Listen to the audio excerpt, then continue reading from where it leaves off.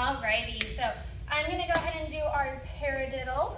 Our paradiddle is named after the percussion movement of a paradiddle. So it's gonna go feel, spin, go, feel, feel, spin, go, feel.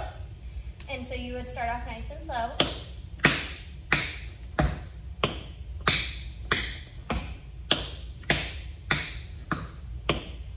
And then you can get faster.